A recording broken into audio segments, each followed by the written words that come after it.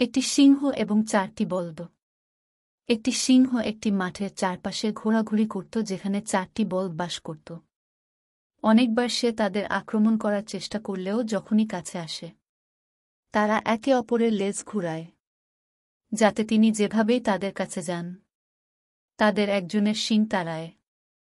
যাই হোক, অবশেষে তারা নিজেদের মধ্যে ঝগড়া শুরু করে এবং প্রত্যেকে মাঠের একটি পৃথক কোণে একা চারণে চলে গেল। তারপর সিংহ তাদের উপর এক এক করে আক্রমণ করল। এবং শীঘ্রই চারটি বলদকে শেষ করে ফেলেছে। গল্পের শিক্ষা হল, আমরা একসাথে শক্তিশালী কিন্তু একা দুর্বল।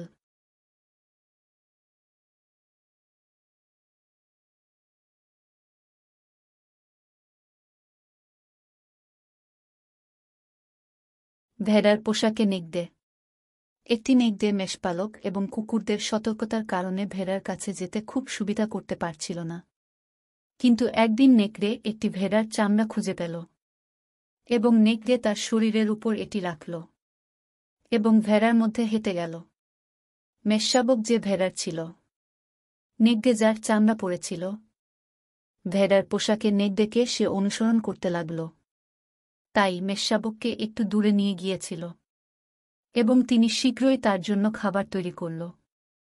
এভাবে কিছু সময়ের জন্য তিনি মেষদের প্রতারিত করতে সফল হন এবং সুস্বাদু খাবার উপভোগ করল। গল্পের শিক্ষা হল, চেহারা প্রতারণামূলক হতে পারে।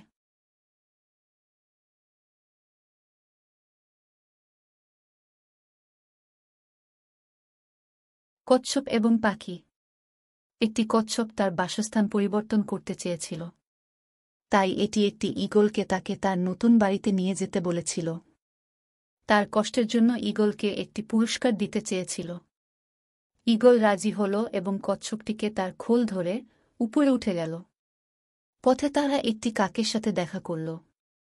যিনি ইগলকে বলেছিলেন, কচ্ছপ খাওয়ার জন্য ভালো। ইগল উত্তরে বলল, খোলটা খুব কঠিন। এই শিলাগুলি কচ্ছপ এর খোলটা ফাটবে। কাক উত্তর দিল ইগল ইঙ্গিত বুঝতে পেরেছেন। কচ্ছপটি তীক্ষ্ণ পাথরে পড়ুক। এবং দুটি পাখি কচ্ছপকে খেল। গল্পের শিক্ষা হল, শত্রুর ডানার সাহায্যে কখনই উঁচুতে উঠবেন না। সিংহের চামড়ায় গাধা। একটি গাধা একবার একটি সিংহের চামড়া খুঁজে পেয়েছিল, যা শিকারীরা শুকানোর জন্য সূর্যের মধ্যে ফেলে রেখেছিল। গাধা সেটা গায়ে দিয়ে নিজের গ্রামের দিকে চলে গেল। তাকে দেখে তার গ্রামের মানুষ এবং পশু সবাই পালিয়ে গেল। এবং সেদিন সে গর্বিত ছিল। তার আনন্দে সে তার কণ্ঠস্বর তুলে ব্রে ব্রে ব্রে ডেকেছে। কিন্তু তখন সবাই তাকে চিনল। এবং তার মালিক উঠে এসে তাকে আলিঙ্গন করল। সে যে ভয়ের কারণ হয়েছিল তার জন্য। আর একটু পরেই একটা শিয়াল তার কাছে এসে বলল, আহ, আমি তোমাকে তোমার কণ্ঠেই চিনতাম। গল্পের শিক্ষা হল সুন্দর পোশাক ছদ্মবেশ হতে পারে। কিন্তু কথা মূর্খতা প্রকাশ করবে।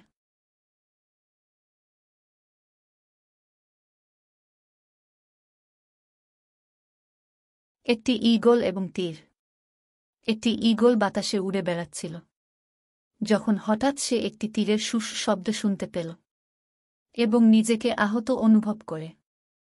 ধীরে ধীরে তা মাটিতে পতিত হল এবং দেখছিল রক্ত বের হচ্ছে। নিচের দিকে তাকিয়ে যে তীরটি দিয়ে সে বিদ্ধ হয়েছিল। এটি দেখতে পেয়েছে যে তীরটি তার নিজস্ব পালকযুক্ত ছিল। হায়, এটি মারা যাওয়ার সাথে সাথে কাঁদছিল। আমরা প্রায়শই আমাদের শত্রুদের, নিজেদের ধ্বংসের উপায় দিয়ে থাকি। গল্পের শিক্ষা হল, আমরা প্রায়শই আমাদের শত্রুদের, নিজেদের ধ্বংসের উপায় দিয়ে থাকি।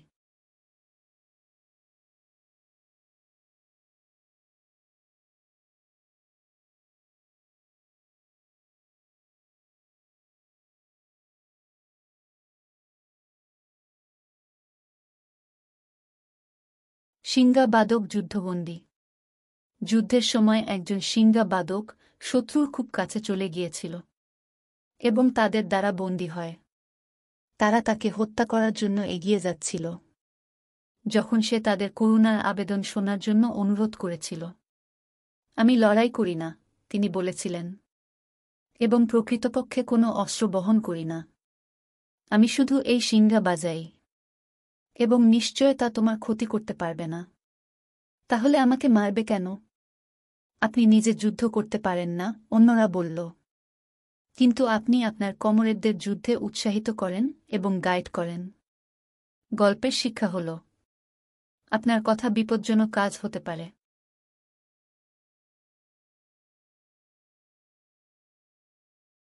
গাছ এবং খাগড়া। আচ্ছা ছোট। একটি গাছ তার পায়ের কাছে বেড়ে ওঠা একটি নলকে বলল, কেন মাটির গভীরে পা রাখো না? এবং আমার মতো সাহস করে তোমার মাথা বাতাসে তুলবে না? আমি আমার অনেক কিছু নিয়ে বিতর্ক করছি, রিব বলল। আমি এত বদ নাও হতে পারি, কিন্তু আমি মনে করি আমি নিরাপদ। নিরাপদ বলে বৃক্ষ উপহাস করল। কে আমাকে শিকড় দিয়ে উপরে ফেলবে বা? মাটিতে আমার মাথা নত করবে? কিন্তু শীঘ্রই গাছের জন্য অনুতপ্ত হতে হয়েছিল।